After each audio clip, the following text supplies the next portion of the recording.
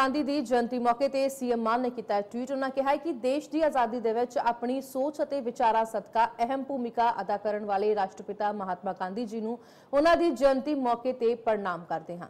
ਸੋ ਅੱਜ ਰਾਸ਼ਟਰਪਿਤਾ ਮਹਾਤਮਾ ਗਾਂਧੀ ਦੀ ਜਯੰਤੀ ਹੈ ਜਿੱਥੇ ਕਿ ਸੀਐਮ ਮਾਨ ਦੇ ਵੱਲੋਂ ਟਵੀਟ ਕੀਤਾ ਗਿਆ ਮਹਾਤਮਾ ਗਾਂਧੀ ਦੀ ਜਯੰਤੀ ਮੌਕੇ ਤੇ ਉਹਨਾਂ ਨੂੰ ਪ੍ਰਣਾਮ ਕੀਤਾ ਗਿਆ ਹੈ। ਦੇਸ਼ ਦੀ ਆਜ਼ਾਦੀ ਦੇ ਵਿੱਚ ਉਹਨਾਂ ਵੱਲੋਂ ਅਹਿਮ ਭੂਮਿਕਾ ਨਿਭਾਈ ਗਈ ਸੀ। ਸੋ ਮਹਾਤਮਾ ਗਾਂਧੀ ਦੀ ਅ, ਜਯੰਤੀ ਤੇ ਉਹਨਾਂ ਨੂੰ ਪ੍ਰਣਾਮ ਕੀਤਾ ਗਿਆ। ਸੋ ਸੀਐਮ ਭਗਵੰਤ ਮਾਨ ਦੇ ਵੱਲੋਂ ਟਵੀਟ ਕੀਤਾ ਹੈ ਤੇ ਬਾਪੂ ਗਾਂਧੀ ਨੂੰ ਨਮਨ ਕੀਤਾ ਹੈ।